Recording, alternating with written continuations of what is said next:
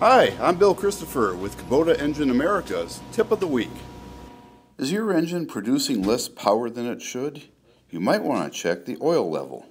A common misconception is adding a little extra oil is a good thing. However, an engine that is even a little overfull can lose power because the crankshaft has to paddle through all that extra oil as it turns.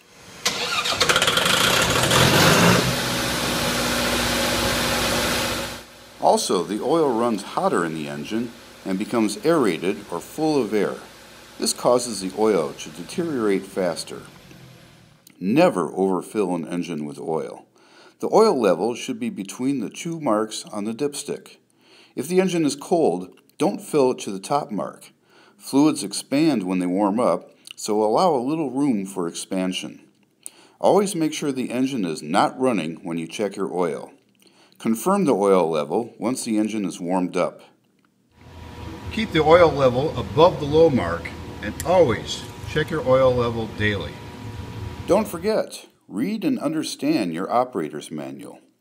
Maximize your engine's performance and oil life by maintaining the correct engine oil level. Thanks for watching Kubota Engine America's Tip of the Week.